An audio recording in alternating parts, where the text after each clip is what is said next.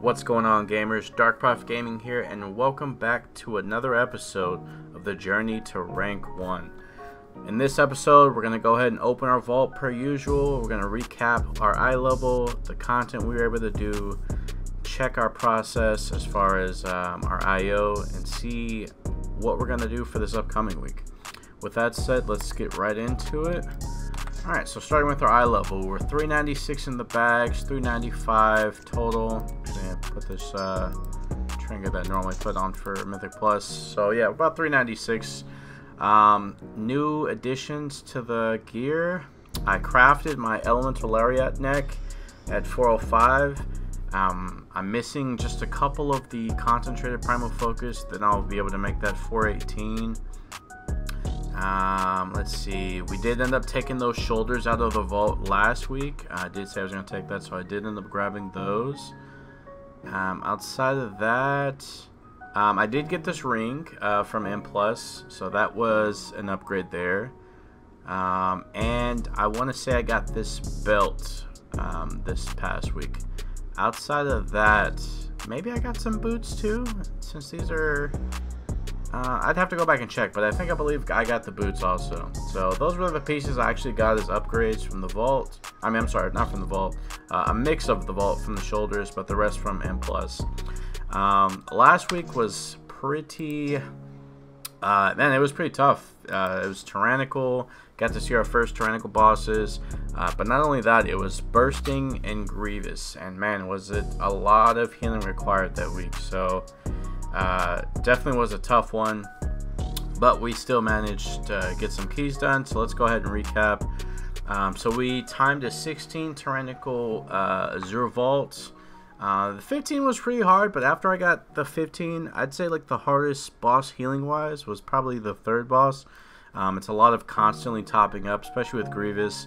Um, after he drops the frost bombs on somebody, um, not too shortly after he throws some more frost bombs. So you definitely have to top people off for that. So was a tough dungeon, but overall was able to get a 16 out of it.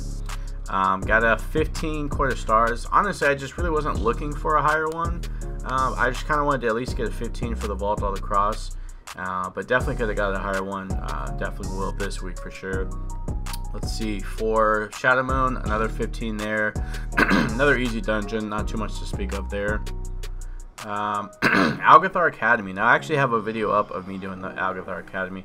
That dungeon right there took me quite a bit of tries to get it timed. I've had to go through several groups, um, and it was really all just to get through the tree boss. Um, as far as healing wise, the boss wasn't that difficult, I would say. Um, just, you know, once you got your cooldowns in order as far as when you're going to CD, uh, mainly was just kind of getting people used to, one, clearing their debuff, um, from the tree ad that spawns. Getting people to do that, and I tried to also help dispel in between that. Um, and then just not having players either get knocked up from the ad spawning or just you know getting melee to death. So uh, finally found a solid group and was able to get that key done. So really really happy about that one. Temple of Jade Serpent also got that out of 15. The first boss, um, bugs aside, uh, is actually was able to get that one done fairly easy. The trash is still surprisingly, especially before the last boss, is uh, is pretty pretty bad on tanks. So um, outside of that, I'd say it's fairly fairly easy dungeon. This Ruby 15, uh, yeah, that one was another one, just kind of like uh, Academy, to where um, it was tough finding a solid group that was able to complete it. But even the one that I did time, which was hilarious, the 15 timed, we had a DPS, um, Shadow Priest, um, exactly, um, that had around, I'd say, 26, 27k overall DPS, which was under the tank. So not very good. We didn't have like super pumpers, but uh, we had two other DPS that were really strong, and the tank did quite a bit of damage. I think we had a prot warrior, so overall, that really helped time the dungeon. The healing was really tough, especially the first boss. Uh, actually, not much so the first boss. The last boss wasn't actually that as bad. Our group focused the dragon, and they were pretty stacked, so it made it easier for me to heal. But the uh, fire dots that you get were pretty tough, so... Halls of Valor, I, for some reason, still haven't been able to time this dungeon, but I did get a 16 completed. Uh, this one actually was very timeable, but I, if I remember correctly, I had a Windwalker Monk that released at the last last boss area and we had two B resers in that group, um, as well as me being able to just regular res him. Um, he released like right as the mob was dying, and so we had to wait about two two and some, two minutes and some change for him to come back. And I think we just, I think we were we weren't too much over, but this happened twice actually. He released twice where we had to wait a few minutes for him, so uh, that was unfortunate. But did get the 16 complete, so there's that. And then finally, the Nokhud Offensive. I only got a 12 timed on that. Man, that Raging Tempest boss, I could not, for the life of me, find a solid group um, for at a 15. I want to say I did around 12 to 13, 15 to this dungeon this last week to try to get that time, and it just wasn't happening. Uh, like my healing was there, it's just um, one, I couldn't get a group to stack for the elemental storms, um, and then a lot of the times, like the tank, uh, either we didn't have someone to purge the boss, or the tank walked in with like no defensives and immediately died. Uh, on a couple, of, it was a couple of groups I had where the tank just walked in and died. And I was like, whoa. Um, so I just settled for the 12, getting that time, two chests to 12, and um, you know, eventually next week I'll go back in there and you know get that 15 or higher done. So. But that's it for our recap of the dungeons. I ended up with 2154 as far as my score, so I did get KSM. Uh, show you guys the mount really quick in case you guys want to see that. Now let's zoom out a little bit. Close that off. So here's the mount. Um, it's not bad looking. I do like the colors. I do wish we had a dragon riding mount though, especially since you know we're in Dragonlands and we have different colors of our skin. Uh, especially since I looked at PvP and they actually have a when you get gladiator you have just another skin of the dragon riding mount so i kind of wish we had that uh, but all in all i got that so the next goal will be at least for this week to get 2400 so i can get keystone hero and so i can uh, upgrade all my valor pieces and so just to kind of check there i still have all my valor i haven't used any um, from last week, and now we're up to 3K. So I, I, did, I think this week, since I'm really going to be pushing hard, definitely going to use that.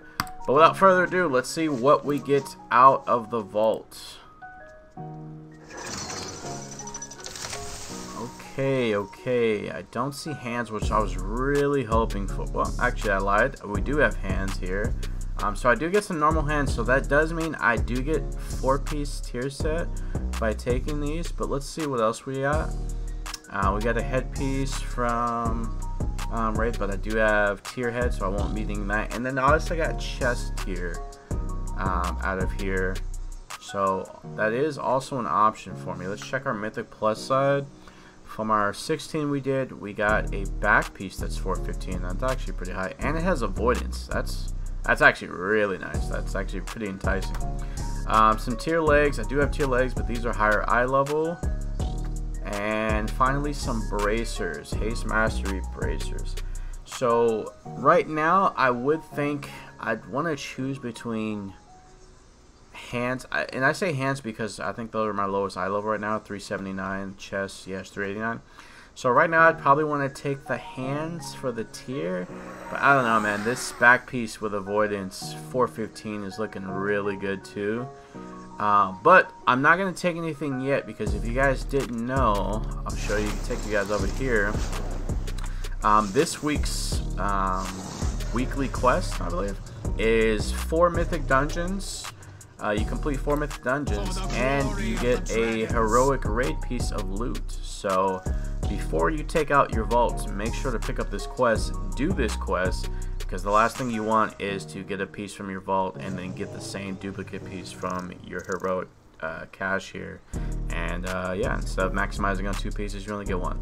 So I'll be doing this first seeing what I get. I'm hoping for out of this uh, a heroic piece of tier that I don't have so chest or preferably hands and if I get tier from here, which I'm really hoping for, then I'll probably end up grabbing that back piece for the avoidance because that's actually huge.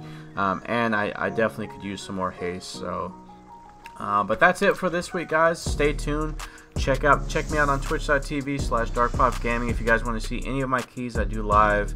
Um, and check back from the YouTube. Make sure you guys are subscribed. I will be uploading some footage this week of the keys that I do. As I said before, I'm going to be pushing for Keystone Hero, which if you don't know, that's 20s across the board. Um, so yeah, uh, thanks for watching. I'll see you guys in the next video.